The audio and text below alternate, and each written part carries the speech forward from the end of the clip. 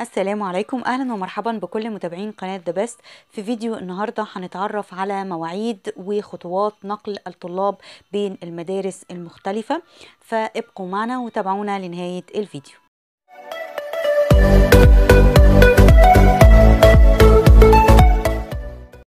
ستبدأ التحويلات بين المدارس حكومية وتجريبية وخاصة بدءا من واحد سبعة وبتنتهي في خمستاشر تمانية.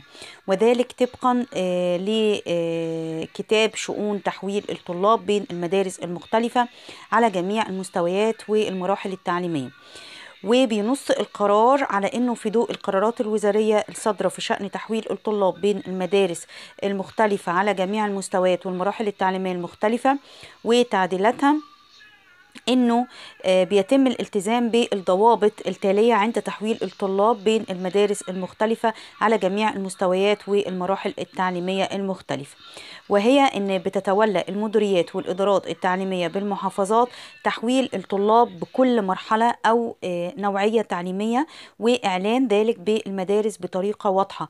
على أن يتضمن الإعلان موعد بدء قبول الطلبات في 1 7 ونهايته في 15 8 من كل عام. وبيراعي أن يتم إعلان نتائج التحويل قبل بدء العام الدراسي بوقت كافي وأنه بيظل باب التحويل مفتوح حتى 10 9 لهذا العام. وبتقدم طلبات التحويل إلى المدارس مباشرة من مختلف المراحل والنوعيات التعليمية على النموذج المعد لذلك مع لصق طابع نقابة المهن التعليمية بالفئات المقررة وبترفق به الأوراق اللازمة للتحويل. وبتقوم المدرسة بتسجيل الطلبات اللي بتقدم إليها برقم مسلسل في سجل خاص وبتعطي مقدمها إيصال بالاستلام مؤرخ ومبين بالأوراق المقدمة ورقم القيد في السجل. وبعد غلق باب قبول الطلبات لا يسمح بقبول طلبات جديدة وبتقوم المدرسة بتشكيل لجنة لفحص الطلبات وترتيبها من الأكبر سنا إلى الأصغر سنا بعد توافر الشروط المتطلبة في التحويل. وبيتم قبول الطلبات في حدود الكثافة المسموح بها وبيتم إرسال الكشوف للمديرية أو الإدارة التعليمية لاعتمادها وبيتم الإعلان عن نتائج قبول التحويل بلوحة الإعلانات بالمدرسة خلال 15 يوم من تاريخ اعتمادها. ويتم التحويل بين المدارس دون مناظرة السن. شرط سماح الكثافة فقط. طالما كان الطالب مقيد بالصف الأول الابتدائي وفقا لصحيح القانون.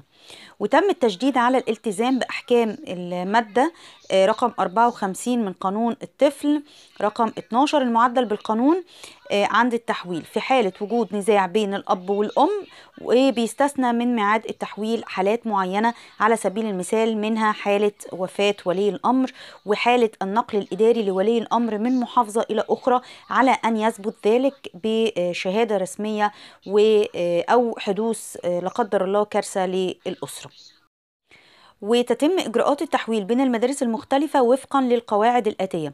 أولا التحويل بين المدارس الخاصة بمصروفات للمدارس الرسمية في مرحلة التعليم الثانوي العام. بيكون التحويل إما لوفاة ولي الأمر بعد التحاق الطالب بالمدرسة الخاصة بمصروفات أو لانتقال محل سكن الأسرة أو محل العمل. إذا ترتب عليه تغيير السكن لولي الأمر إلى مكان لا توجد به مدارس خاصة أو لحدوث كارثة لأسرة الطالب بعد قيد الطالب بالمدرسة الخاصة. أدت إلى عجز ولي الأمر عن الوفاء بالوفاء بالتزامه بالتزاماته المادية أو البالية تجاه المدرسة الخاصة على أن يثبت كل ذلك بالمستندات الموثقة أو بسبب حصول الطلاب الناجحين بالصف الأول الثانوي بمدرسة خاصة على مجموع درجات 90% فأكثر. أما بالنسبة للتحويل من المدارس الرسمية لغات بنوعيها إلى المدارس الأخرى والعكس بيتم وفقا للآتي. بيكون تحويل تلاميذ المدارس الرسمية للغات بنوعيها إلى الصفوف المناظرة بالمدارس الرسمية شرط سماح الكثافة فقط. وبيكون تحويل التلاميذ بين المدارس الرسمية للغات والمدارس الرسمية المتميزة للغات دون شرط سوى سماح كثافة الفصول. ولا يجوز التحويل بين المدارس اللي بتجرى الدراسة فيها بلغات أجنبية أولى مختلفة إلا في حالة عدم وجود مدارس بتكون الدراسة فيها بنفس اللغة اللي كان بيدرس بيها الطلاب كلغة أجنبية أولى. وبعد عقد امتحان للطالب تحت إشراف السيد مدير عام تنمية المادة المختصة بالوزارة واجتيازه ليها مع مراعاة الضوابط الخاصة بالتحويل الواردة بالقرار الوزاري وتعديلاته بشأن المدارس الرسمية لغات بنوعيها. وبيجوز التحويل من المدارس الخاصة للغات والمدارس اللي بتطبق مناهج ذات طبيعة خاصة آه، زي المدارس الدولية إلى المدارس الرسمية لغات بنوعيها على أن يكون التلميذ مقيد بتلك المدارس قيد قانوني صحيح. وفي جميع الأحوال بيشترط سماح الكثافة مع مراعاة الضوابط الواردة بالبند أولاً.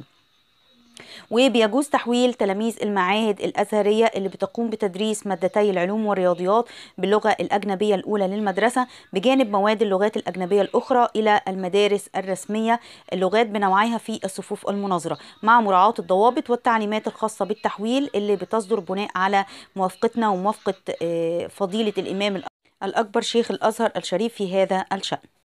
وبالنسبة للتحويل بين المدارس الرسمية والمدارس الخاصة عربي إلى مدارس الخاصة لغات والمدارس اللي بتطبق مناهج ذات طبيعة خاصة الدولية والعكس بيجوز تحويل الطلاب الذين يدرسون باللغة العربية للدراسة بمدارس اللغات أو المدارس اللي بتطبق مناهج ذات طبيعة خاصة.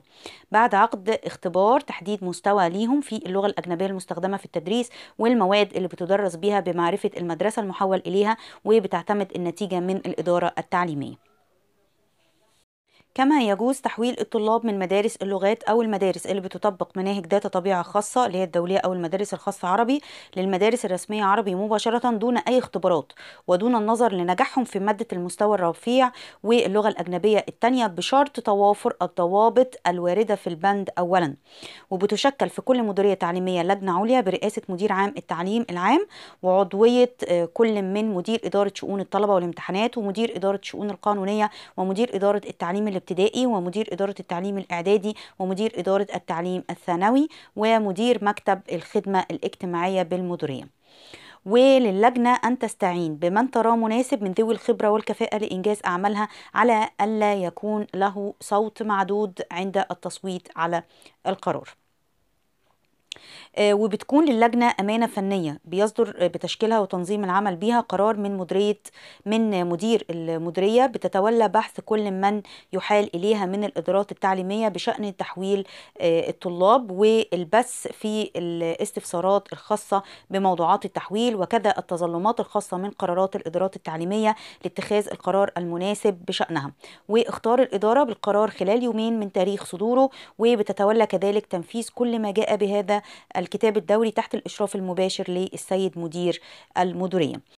وعليه بيتم تعميم تلك الضوابط على جميع المديريات والإدارات التعليمية والمدارس التابعة ليها والإعلان عنها في مكان ظاهر ليتسنى للجميع الاطلاع عليها والالتزام آه، بيها والعمل بموجبها مع اعتبار الموضوع هام وعاجل جدا.